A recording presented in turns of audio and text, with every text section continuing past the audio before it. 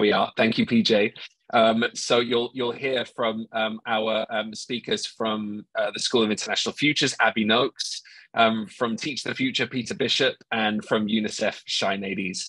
Um, again, uh, those breakout rooms are really conversations. You'll learn about some of their work, and it's a chance to share knowledge, um, see what see what springs up, and you know we're all learners here. Uh, we're all trying to figure out how to do this well. Um, then we'll take everything we've learned from our past experience, from the panel, from the breakout rooms, and we'll do a futures triangle together in the last 25 minutes or so to create some possible futures for youth foresight in the world. I'm really excited for that. Maybe it creates some pathways um, that the APF or that all of our organizations can seize on.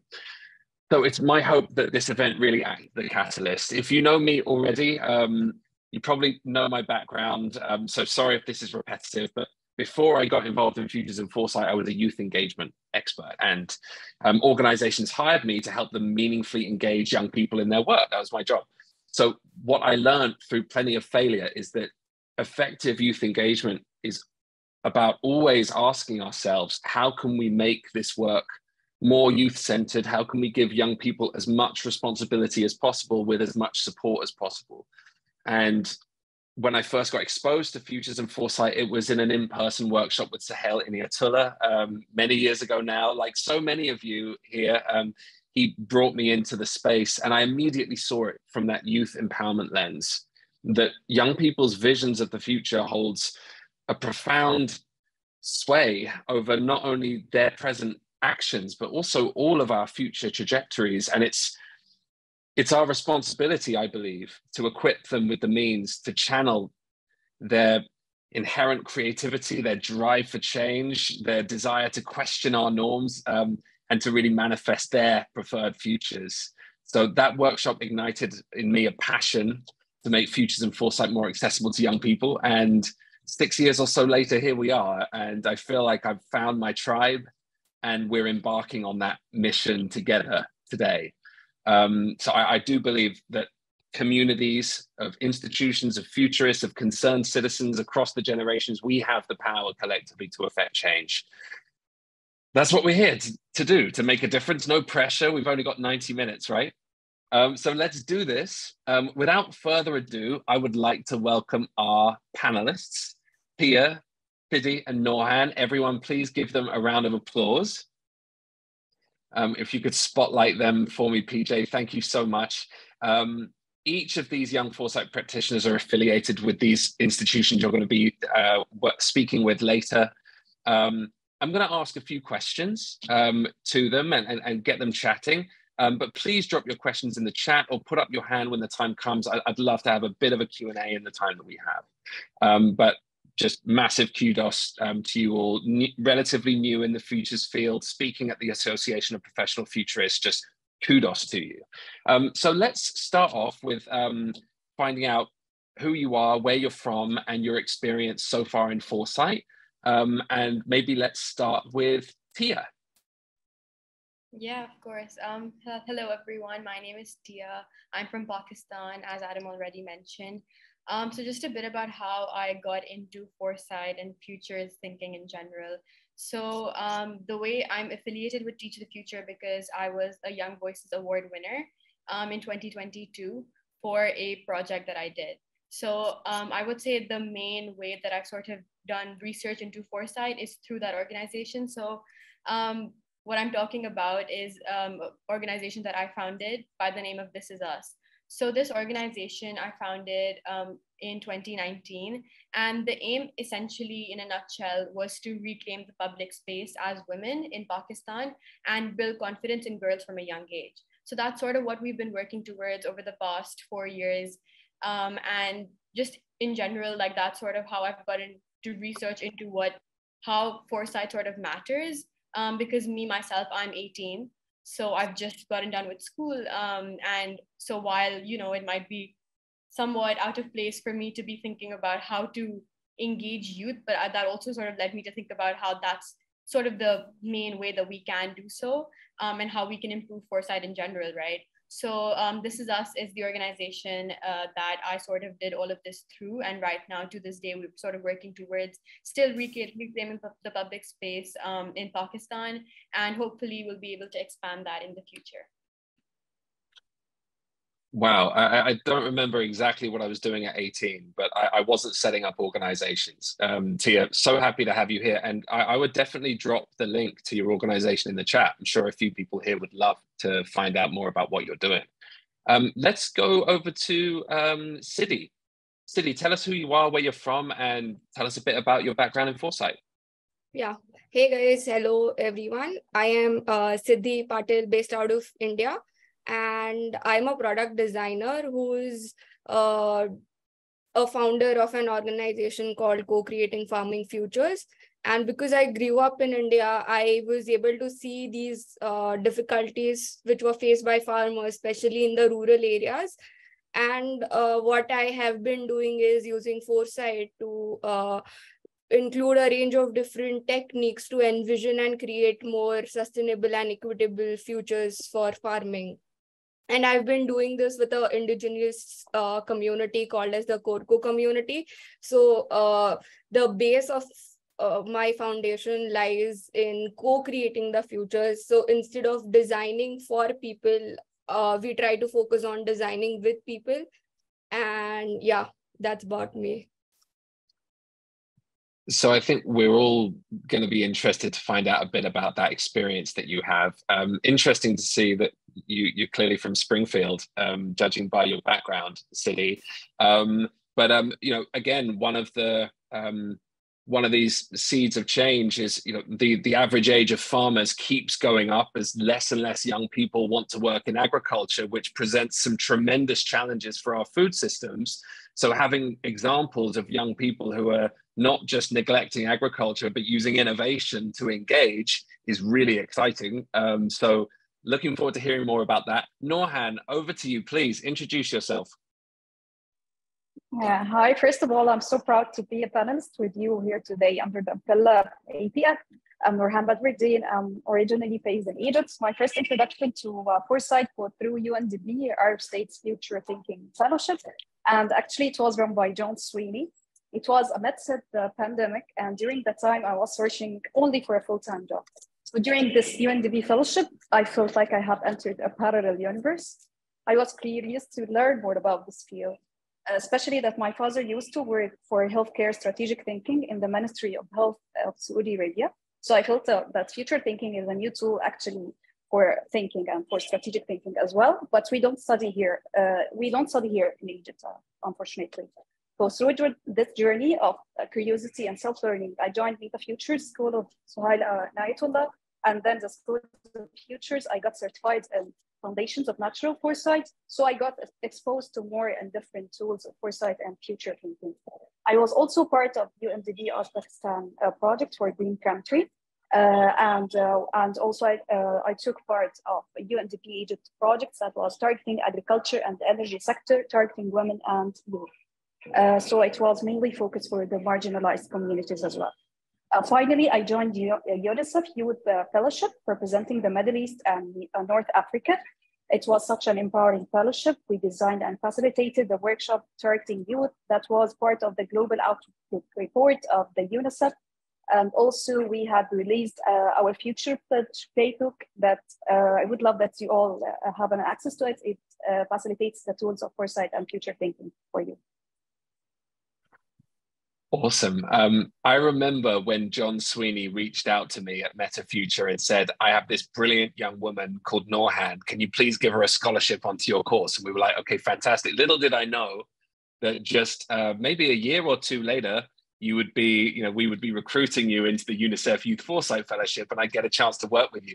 It's all about these connections. And, um, you know, for all the young people who are in the room, um, it, it's always a good idea to reach out and see what opportunities there are. But thank you so much uh, for being here, Norhan. Just fantastic.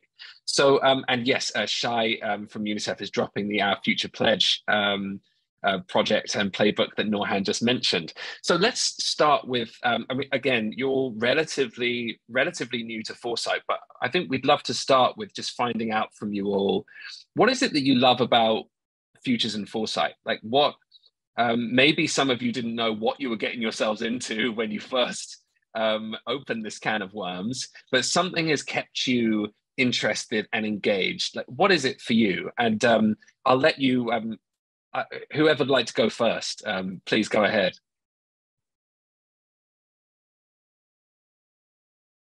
Um, okay, yeah, I can go. Um, so what I love about Future is, um, so I'm, I am relatively newer to it and just in general like i'll be honest i didn't really know much about foresight or futures just because i feel like at least in pakistan or even just in the academic context it's not something that we learn about. I think globally it's not something that we really focus on learning about. Um, and it's more so something that you get into later on and that's what how i coincidentally sort of stepped into it. But i'm really glad i did because um, i think the one thing that i've noticed over just literally over the past very few years of um, getting like getting to know people that are involved in foresight is just the ability to bring together people of all sorts. So you can be from whatever background from whatever part of the world but to be able to come together with a common aim. And um, i think that's something that is sort of difficult in this day and age just because every country operates in a different context. Um, but i think the one thing that everyone can agree on is just wanting a future that is sort of better planned, a future that we are caring for, that we are looking out for. Um, and just because we have to take in the past, present, and future into account to plan better, to learn the implications of just the solutions that we present to the problems that exist today and how that might impact perhaps the next 10 years of our lives um, or the future generations for when we are not even here. Um, so I think the main thing is just how I've been able to meet so many people from completely different parts of the world. And that's what I really love. Yeah, uh, participation is well, futures is always enriched by participation and, and opening the doors wide open. And we're, we're, we're definitely going to talk about accessibility um, on this panel and, and today because you mentioned that it's hard to learn about futures thinking and foresight in Pakistan. I know that Norhan tells me all the time about how challenging it is to learn about this in Egypt. There's a real lack of Arab speaking materials and opportunities. And so you know, hopefully we plant some seeds of change today um, to encourage more participation. Um, Siddhi or Norhan, would you like to come in on this question? Uh, yeah. So I agree with like what Tia was saying that even in India, the kind of uh, resources which you have for futures and foresight um, are a little limited uh, in like the cultural context. So it it's uh, there's a lot of stuff which is available on the internet which was like my first go-to spot to uh, understand what this is. So i stepped into futures uh, while um, like playing around service design. And uh, like uh, that was the point when i realized design and futures overlap each other. And like i i really like uh, the possible like the possibility factor of futures which uh, gives a canvas of uh, creativity and imagination to all the people who are participating in an activity. And that was something which uh, really clicked me because uh, when i like since i've been working with these communities the idea of future is completely different for them. Future is a time which is not currently the present so uh, while talking about what future means to these communities, it was really good to reflect on this linear model of future that we have. And uh, it so i i feel that uh, like to envision or to give that uh, power for uh, to the people to even think or to imagine is something which i really love about future and like uh, technology doesn't have to be ideated in silicon valley only. Like it can be done in a small village somewhere in india. So yeah. Someone clip that. Someone quote that. Um yeah yeah um and i suppose as a designer you get to see futures in a, in a different way. And and having you as part of these processes can just really help immerse people in in, in futures. Um, so it's going to be cool to hear more about how you use design to inform your practice. Norhan, you're next. Go ahead. What is it that you love about futures and foresight?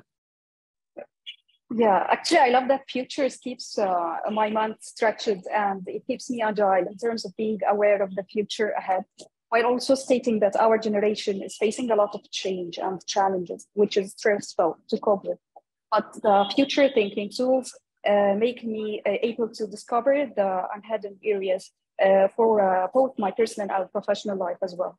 And also as a young professional who have five years of experience in business work and uh, I also studied economics at college, I'm surely aware of the power of trend analysis and the future imagining. It allows me to uh, be able to understand the trends uh, that are uh, weak signals uh, that we still are not taking the spot of interest in the media uh, or for the public as well.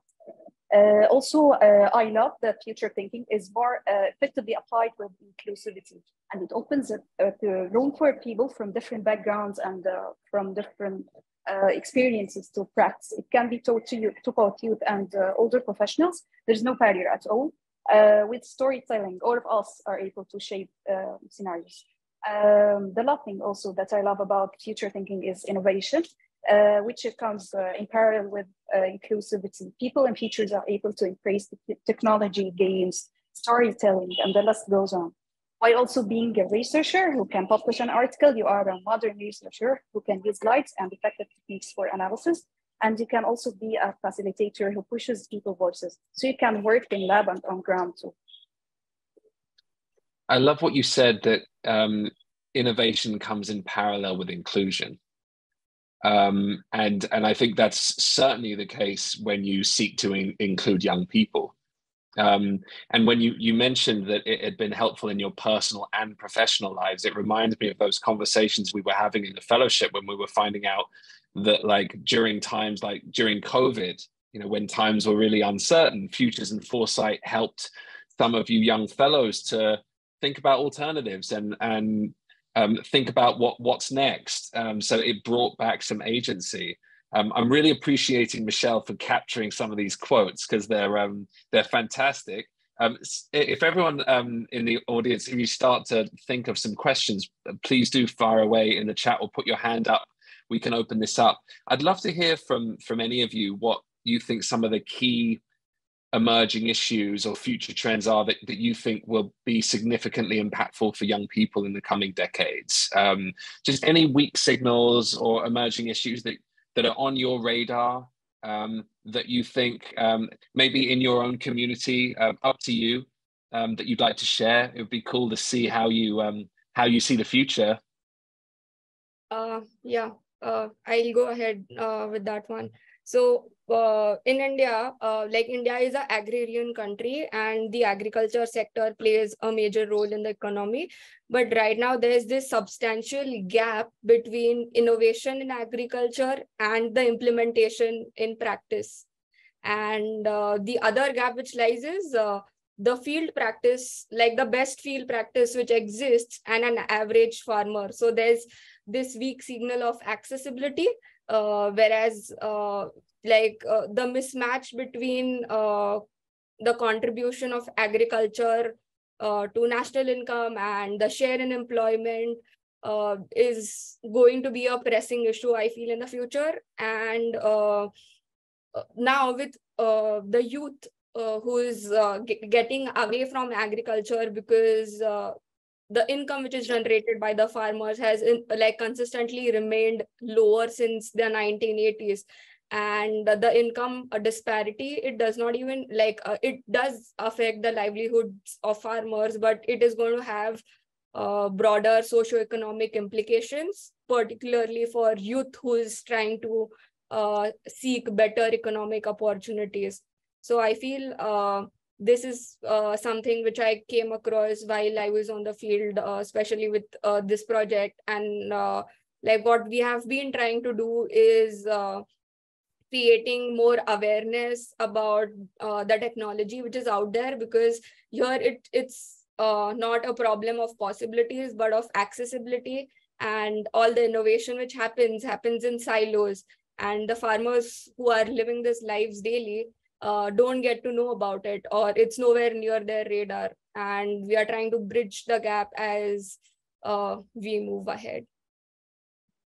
That's fascinating. I mean this, these kinds of um, emerging issues these signals could be truly transformative in a country like india. Um, so it's it's going to be fascinating to learn more from you about what you're seeing on the ground as you do futures and foresight with these communities. I think it's it's worth applauding the fact that all of these young people are, also doing futures and foresight work in marginalized communities. So we have a lot to learn from them.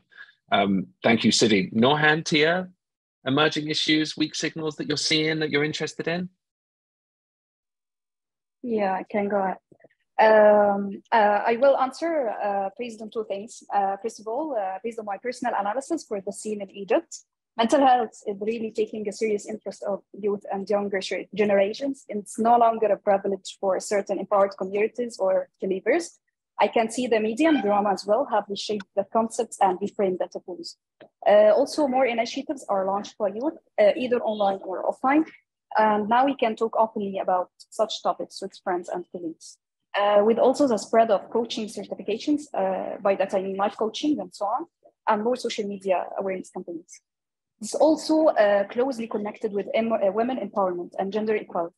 They are really, uh, uh, women are really interested in keeping their mental health and they become more aware about mental health should be a priority. Since Corona, they realize that they need to ask for the rights that will help to that will help them to keep reach a work-life balance uh, at home and at work as well. Uh, when women will lead the change more and more, and uh, this change will be for other women and for the whole society. Uh, while taking the spot, they are not only targeting feminine topics, but also opening the room for themselves to evolve for new for new careers. And also, the most important thing that I want to highlight is now women are writing drama for women. Uh, the second part that I want to highlight is based on my experience with UNDP Egypt. Um, we were targeting climate change, as I mentioned before, and it's trendy here and can be captivated of attention as it's interconnected with a lot of themes and holds a lot of interest for people in different backgrounds. Uh, it will open new business ideas and new world with new challenges. And a part of these challenges was also related to financial aid and for the rules that will regulate this new system. Uh, this system uh, um, that we were talking about with farmers uh, consists of agriculture and tech, agritourism, newly uh, cultivated crops and new uh, diseases that affect these crops as well due to the climate change. Um, let me tell you that people are aware of that climate could and actually would change the political powers or the fools at all. It will affect their education, health, age, and geography.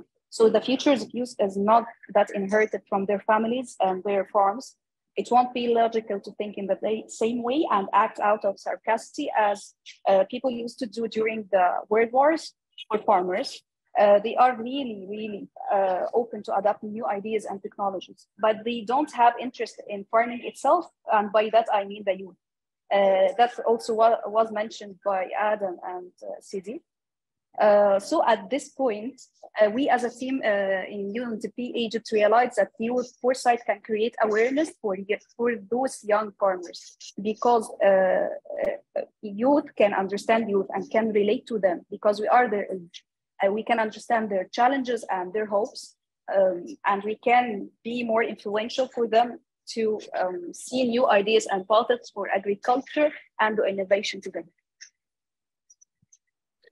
Yeah, that that's I mean, you really encapsulated there not only the sort of transdisciplinary thinking, you know, when you're thinking about emerging issues in the country, but also, you know, why we need young people in these spaces because they're a driver of change and always have been and always will be. And having them not in the room means it's going to hinder our anticipatory capacity. Um, Tia, Tia, what are you seeing? If you'd like to comment on this one. Yeah. Um, so I think like I'll base it off of what Norhan said, and I think what stood out to me the most in that was what you talked about in terms of women empowerment because so one of the programs that we've carried out is the girls for climate justice program so in that we were able to work with um, a specific school and this is we worked with a few girls from it and we just had three days of like you know a lot of leadership workshops just discussion group building um, community building and i think the main thing that i noticed was the fact that a lot of them felt to some extent limited to two or three careers. So we were hearing that, um, you know, that I want to grow up and I want to be a doctor, or I want to grow up and I want to be an engineer. Um, and obviously, while you know that those are some really, really amazing um, professions to take up, I feel like there was less, I guess, awareness in terms of what else you can do. Um, and I think, mm. especially as like women, you feel that you know your profession will be seen as more worthy the more you might be earning or the more just obvious or tangible it is. Um, so i think in the future like the definition of workplace would is likely to sort, sort of change right? So what does that look like? Um, what i mean by that is just generally it becomes less of just the traditional definition of what you know you go you sit in an office in front of a computer um, obviously, I'm not saying that that's going to be eradicated, but rather I feel like it's going to be changing and transforming such that things like on-site work just becomes a lot more common and also classified as like you know a workplace. Um, and just that just essentially i feel like countries are moving towards that but at different speeds. So um, we might see to some extent the west might be closer to this right? And i feel like that in itself more specific when i relate it to what i mentioned about women um, is just the idea of the credit being sort of more equal um, in this aspect and just you know workplace as a word and like as what it is is going to likely transform in the next few years. Yeah thanks tia. And um, you're all getting some compliments in the chat um, from Michelle saying she loves the comments about expanding horizons and opportunities for women, having downstream implications on society, home dynamics, work culture. We've got a few opportunities being shared in the chat. I know that the Journal of Future Studies is looking to publish young foresight practitioners for a special issue, which is extremely cool. Um, you're seeing the Next Generation Foresight Practitioners Network opportunity being shared by Abby and Peter Teach the Future leading the Young Voices campaign for the under 18s, I believe. Um, but um, great to see the chat teeming with opportunities. Um, to try and, I, I have more questions, but um, we're, we're definitely going over time a little bit and, and we're going to go into breakout rooms in a minute. And so you'll all have a chance to ask some questions there too. Um, I just want to maybe close this panel just in terms of timing. Um, I just want to ask a quick question to you all. Um, just quickly, if you could just answer this in like a minute each. Many of us are here today to learn about how to engage young people in foresight. Like we're eager to, but maybe we don't know how to do it. Just what's one piece of advice? If it's a sentence, great. If it's a minute, fine. What's one piece of advice you would give to individuals or organizations looking to engage young people in foresight really well? Um, maybe um, Norhan, go ahead. Yeah, I will share my advice based also uh, on my experience as a young woman who uh, got engaged with the foresight. Um, I can tell organization, organizations that depend on participatory futures or any similar approach that brings creativity on the table. This was the first spark for me to get fully engaged at the use with Johnny, uh, John Sweeney uh, it allows my mind to stretch and start thinking about the games and the tech or any tool that will help solve the problems that we are targeting. Uh, also run sessions and workshops that are built around storytelling. Uh, storytelling is the shortest and easiest way to engage you. I remember my first foresight project with the UNDP, it depended totally on storytelling because through these stories, I can uh, have the power to incorporate other tools as well. Uh, also on my experience with the UNICEF, I can tell you try to connect your experience in using other tools, like for example, tools of design thinking and strategic thinking along with the foresight. And uh, in this way, you can get youth more empowered and can have uh, more um, uh, holistic thinking, uh, if we can define it in this way. Uh, and together you can brainstorm uh, new ideas to face the challenges but please give the youth the safe space to try and learn, to express their personal feelings as well. And this was uh, one of the trans points we had uh, in the UNICEF uh, fellowship actually. Um, give youth the lead and mentor them uh, just when they are losing the track. Just allow the space for these free spirits to shine and spontaneously believe the process as the saying goes.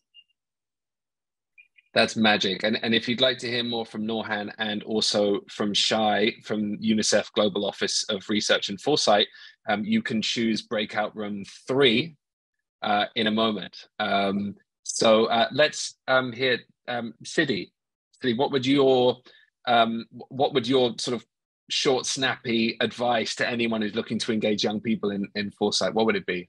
Uh, so I, I I would go with saying uh, involve as many people as you can uh, because uh, uh, everyone who comes in uh, as uh, Norhan was also mentioning about participatory futures like people who experience lives daily are the experts and that is what makes their point of view very unique to that of yours uh, so involve as many people as you can because that brings in a lot of experience whether it be uh, people from different sectors or people from different age groups.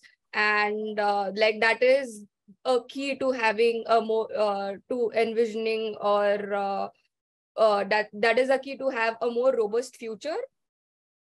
And like a practical advice if you may is again um, like keep asking why and why not. Uh, like this this is my life's motto uh, that asking why and why not have been uh, helping me out open a lot of opportunities whether it be work wise or like personal interests.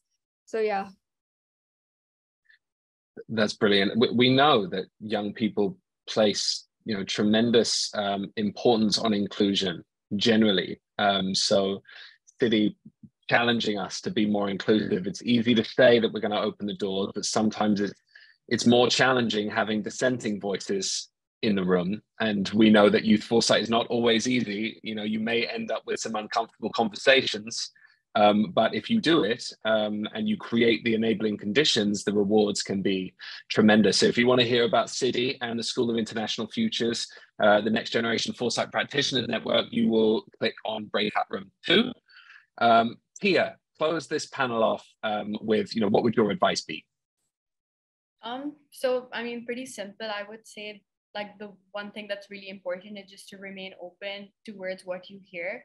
Um, because I feel like there's a lot of the times that just generally people with more experience, um, people that are relatively older will feel that because there's more experience that you know that will translate to better contribution which does not necessarily have to be the case so and like while there's obviously people that you know I fully appreciate do definitely take into account um, you know youth perspectives but at the same time i feel like we're just conditioned to feel that if someone is younger they're less likely to share something that is valuable um, or they have less experience. So um, you know what they're saying or what i say sort of overpowers what they're saying. So just being able to keep your mind open um, to just telling yourself that just because this person is younger than me does not mean that what they're sharing is less valuable.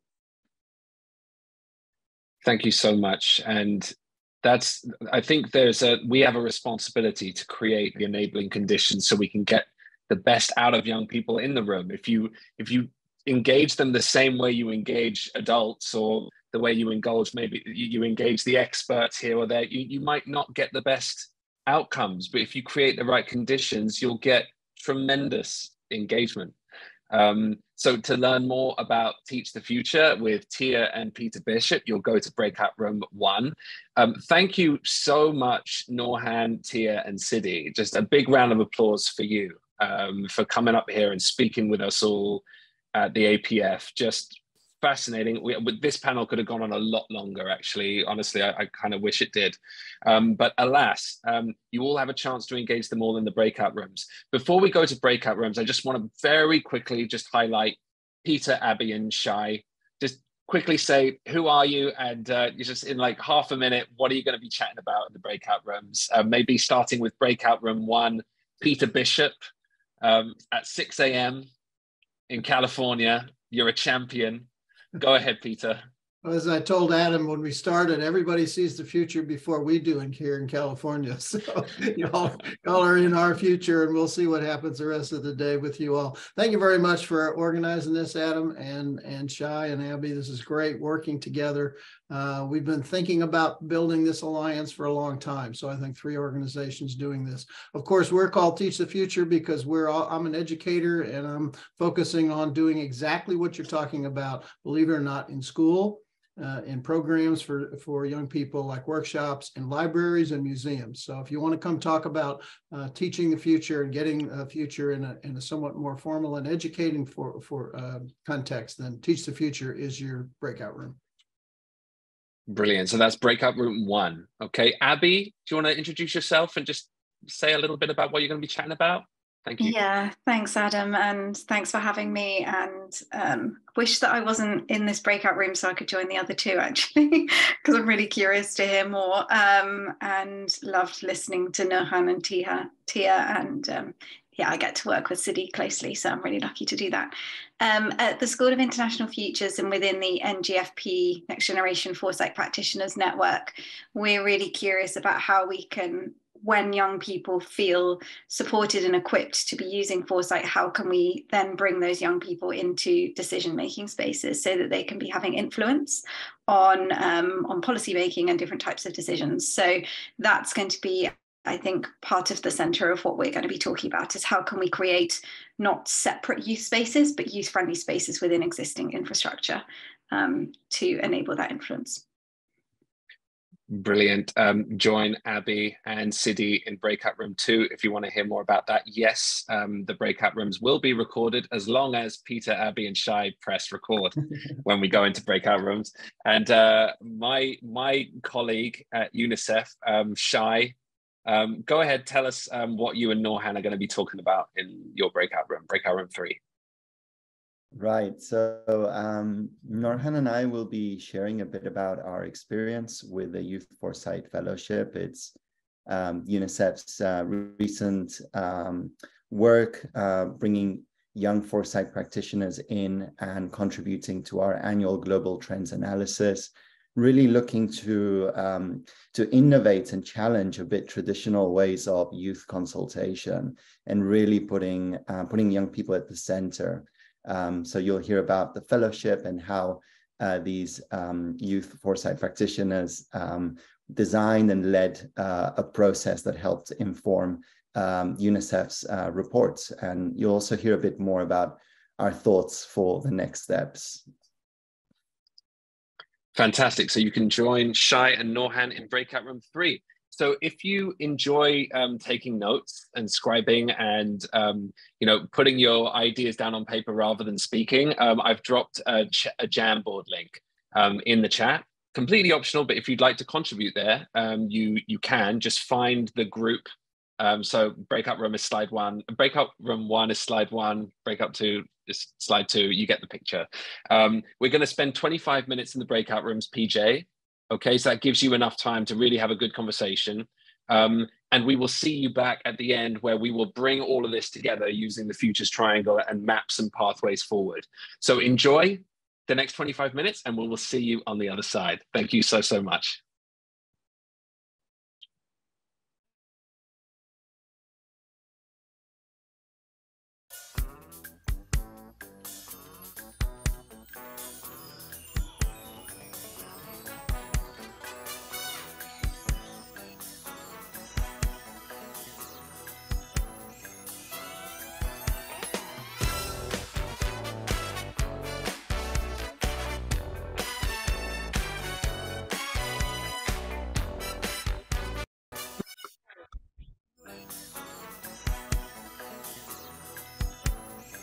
Okay, everyone, welcome back. Um, but let's just enjoy this funky interlude for a second.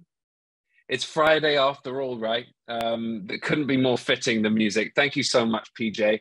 Um, I just had a really good conversation with uh, Peter and Tia in the Teach the Future room, and I'm sure you've all picked up a lot of insights in your conversations. I see the Jamboards um, bustling.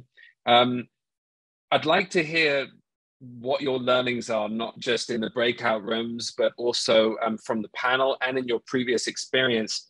Um, we don't have that much time left. We have about 16 minutes until the close of the show, um, which falls on me to facilitate the Futures Triangle very quickly. And this is funny, this happened the other day at the Intergenerational Fairness Hub, where we didn't have that much time to facilitate, but we're going for it anyway because I think this will be a better way to structure all of your learnings and your insights. And maybe we come away with some plausible futures, maybe some possible pathways that APF or your organizations or you as individuals can seize on.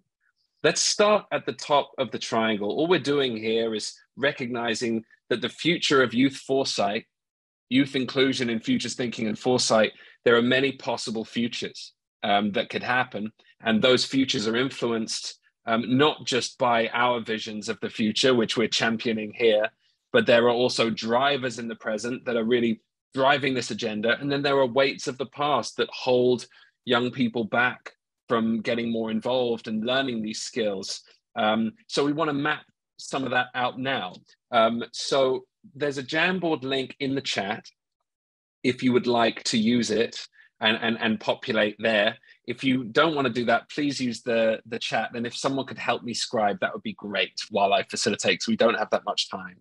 Um, so let's start off. What's the our vision of the future um, for youth foresight? So you've heard you've heard young people from around the world talking about their experience of futures thinking and foresight, and you've you've heard three different organizations with three different approaches, um, three different visions of the future, if you will, um, connected but different.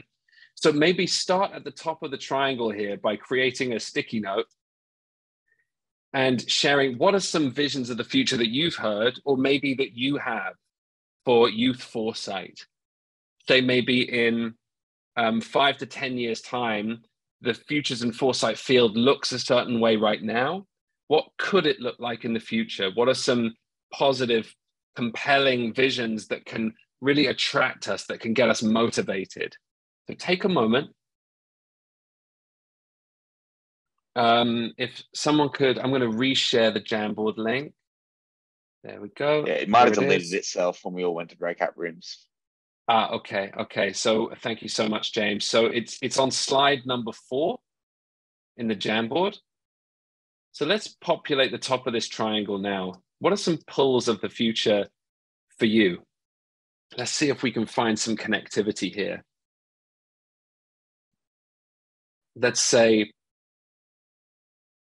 2033, 10 years time, imagining if Teach the Future has achieved its its vision. Maybe UNICEF has achieved its vision. Maybe you, maybe your organization has achieved its vision. What does that vision look like for you?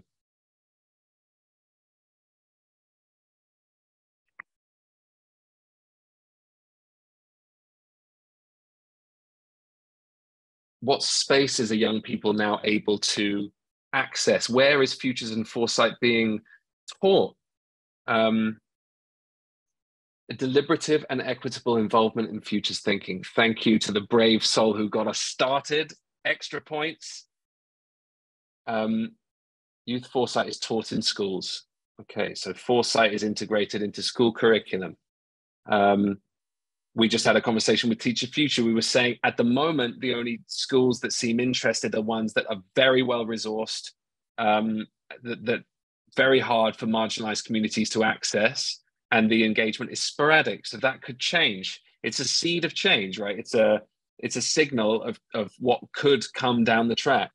Every country to produce a future trend and action report. Fantastic. And, and how would young people be involved in something like that? You know how are we ensuring that that report is relevant to young people and their needs not just the younger generation but future generations? Foresight legislation go into a bit more detail for us. Is that using foresight to like as standard to create legislation? And again how does this how does this impact the lives of young people? How does it include young people? Advocates for causes about the future realize that there are already young people who are advocating for their cause. Okay, so there's connectivity between these communities. I'm sure many of you didn't realize there were so many young foresight practitioners out there until you were sat in a room, you know, with, a, with, with 20 of them doing great things around the world. So it's common children say when they grow up, they want to become futurists. That's really cool. So young people love futures and foresight. They want to be in these spaces. They love creativity. They want to help spread futures literacy around the world. They want to be leaders um, to create solutions, lowering the voting age, um, 16 or younger. So we have a society that respects respects the opinions of young people, that values what they have to say and recognize they are creating the future and we need to shift this generational imbalance when it comes to voting that so often is a barrier to, to, to change. Okay, so this is this is a great start. The whole system of countries is more combined with youth innovation, skills, and others.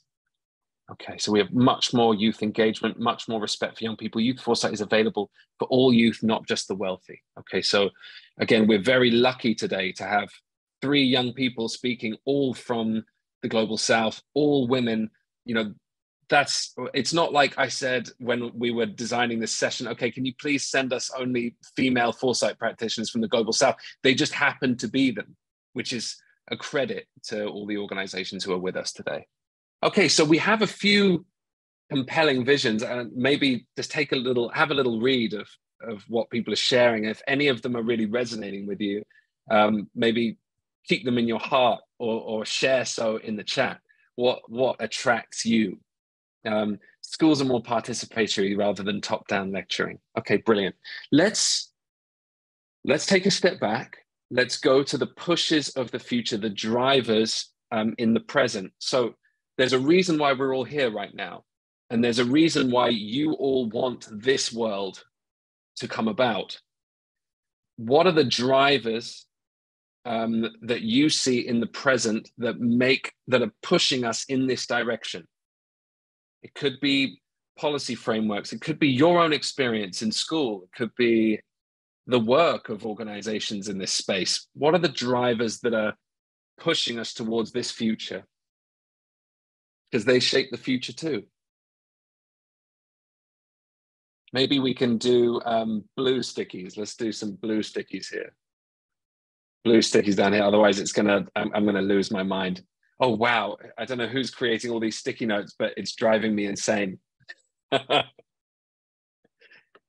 I'm gonna maybe just shrink them for me. Okay, shrink them for me.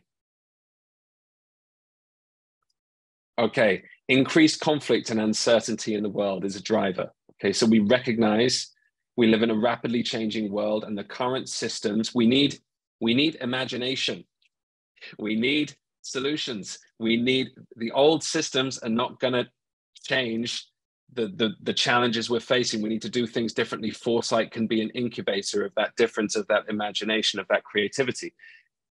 Climate action driving around the world, not just climate action, but youth led climate action has shifted a lot of people's attitudes towards the role young people can play in society. It's not the first time young people have been a driver of change in that way, but uh, it's been very public. The Sustainable Development Goals have certainly recognized the need to invest in young people's human, social, and cultural capital.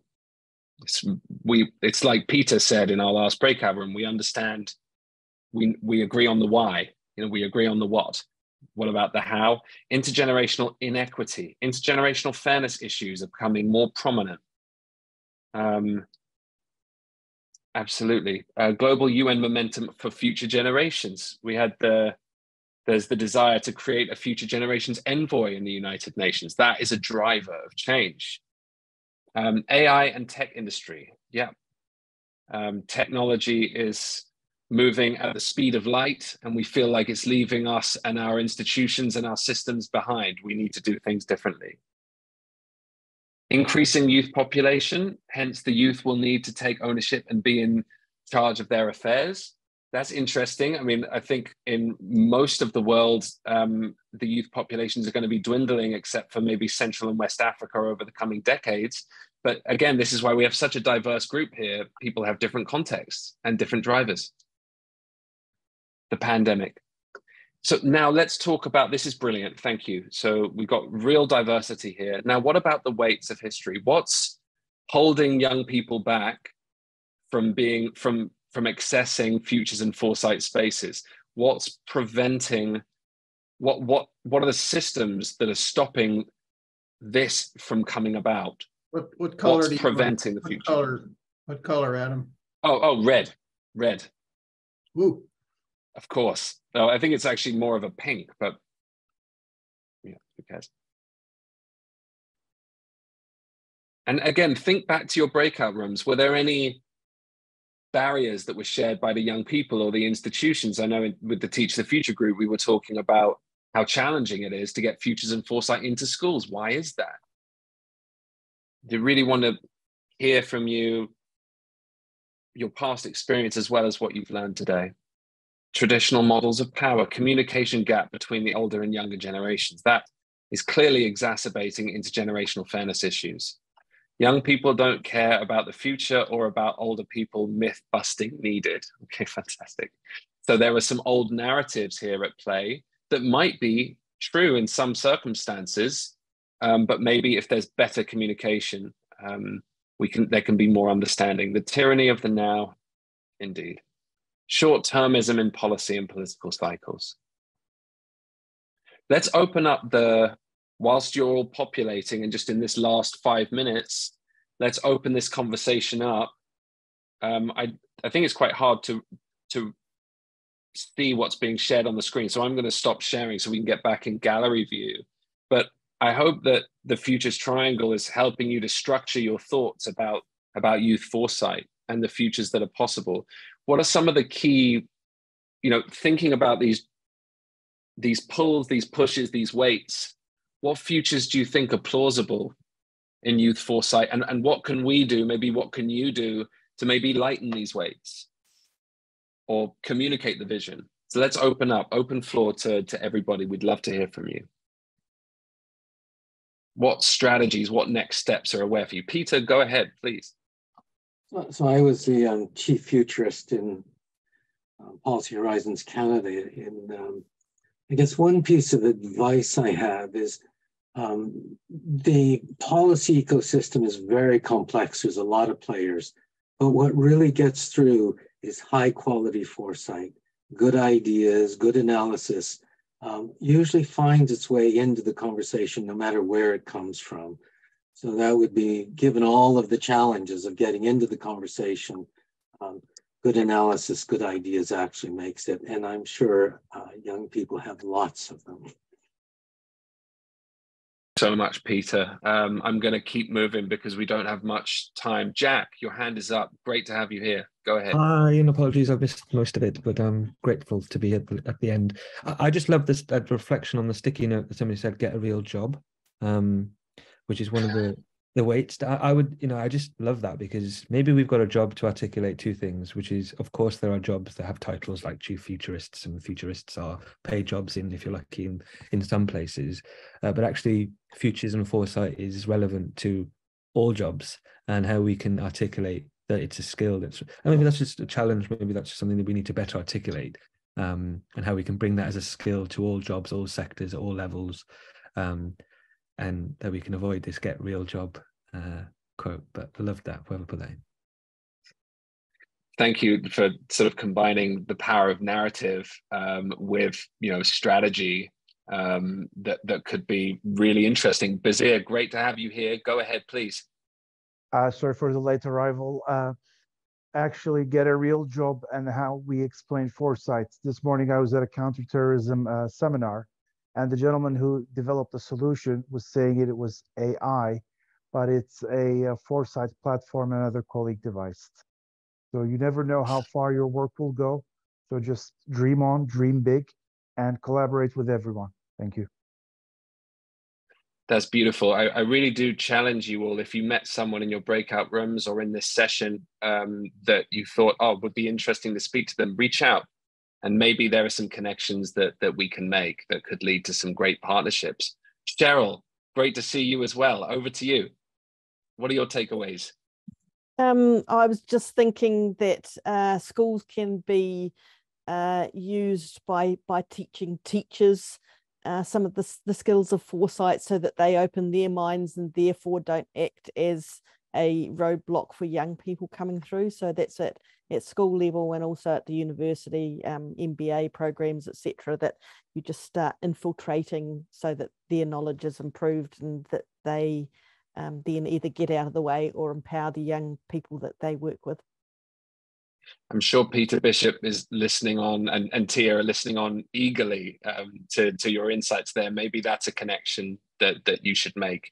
Um, we're about Cheryl's, to. Cheryl's doing that in New Zealand already. Thank you, Cheryl. Perfect. we're about to come to 9.30 um, so we're going to stop recording in a minute um, but uh, we'll, we'll stop recording now but i'm happy to stay on the call for another 10 minutes or so to, to finish out this conversation and uh, but just wanted to say a huge thank you to all of our speakers to Siddhi, to Norhan, to Tia. Huge round of applause to them, please, everyone. Um, and of course, to Peter, to Abby, to Shai, um, thank you for coming and, and speaking with everyone. And let's not let's make sure this isn't the last time that we do this with APF Friends of Foresight. I think I feel the need for a follow up, Sherman, and um, and obviously a huge thank you to Sherman and to PJ and to Nicole who were integral to putting this event on. You guys are just doing great work. Um, uh, so we'll stop recording now. PJ, thank you so much until next time. And if you'd like to stay with us, just hang around.